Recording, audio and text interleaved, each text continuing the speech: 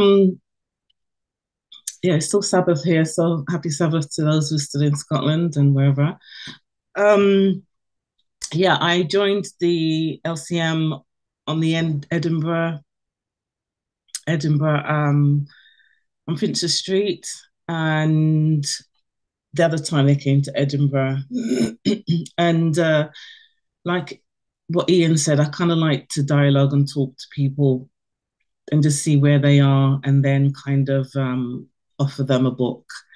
Um, so there was a woman who was talking to myself and Patrick. She was heavily into yoga. And she said she speaks to ghosts. I don't know, Patrick, if you remember that, that particular woman, friendly ghosts, they're her friends. And straight away, I thought of a relative of mine who used to come to church, heavily involved in church, and she left church. Long story short, she got involved into yoga and uh, now she's into tarot cards and, and all of that. So I know straight away that it's it's not a good thing to be in, and definitely no friendly ghosts are there. So after talking with her, I just felt because she she was very talkative, and I just thought it's best to just pray pray for her, and, and Patrick did a prayer. So she is someone that um, I think about a lot, and just hope that she she probably will, but she hopes she doesn't have any um, crazy demonic experiences in her life and realize at some point that those so-called friendly ghosts are not friendly at all. Um, but yeah, that's how deceived some people are, unfortunately. Also, there was um, an American couple that we we met. Um, they were Christians from America. They were visiting the Fez Edinburgh Festival, and they have uh, um, a home church that they attend. So they took a few bags of the books, and we again we talked for a long time, and uh, we said a prayer.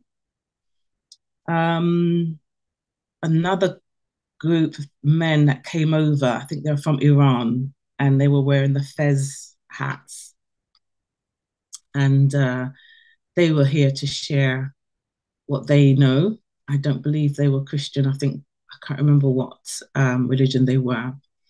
But again, they were just very interested in what we were doing and, and very pleased that there were people sharing the gospel. And I was praying while he was talking because he was very enthusiastic, very energetic and I just sensed to give him the steps to Christ. And I, I, asked Patrick, "Do you have the steps to Christ?" And Patrick handed the not only the steps to Christ, it's the steps to Christ in is it in Hebrew? I think. Or, or uh, yeah, it was Arabic or Farsi. Yeah. And I thought, wow, I didn't even know they had that that one in in that language. So that was just great timing. And he grabbed the book, and I hope and pray that he reads it. So again, he is someone that I think about as well, all the people that I met. Um, so yeah, there was another guy that came over to the table.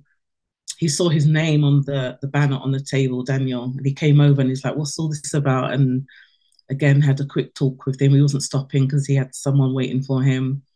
And uh, so he took uh, grabbed the books and I said to him, Your name is in the Bible. And he was like, Is it really? And he didn't know. But just little things like that. I, I like to sprinkle little something so that he can, it can trigger some kind of excitement in their mind to read. And lastly, there were a few others, but the other one that came to mind, um, there was a guy, very tall guy, standing looking at the the poster of the the the uh, the image that uh, Daniel, uh, sorry, King Nebuchadnezzar dreamt, and he was just standing there staring at it. And I went over and just asked him, "What do you see?" And again, we just had a simple conversation. And I asked him if he owns a Bible. He said yes, because not many people do that I've spoken to.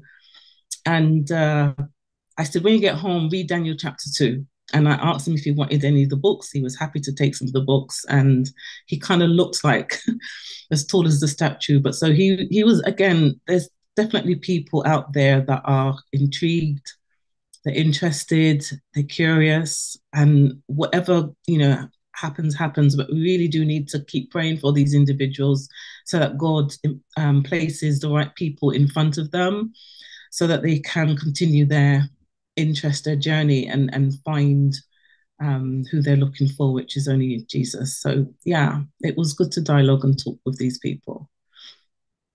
So I'm glad to have been involved.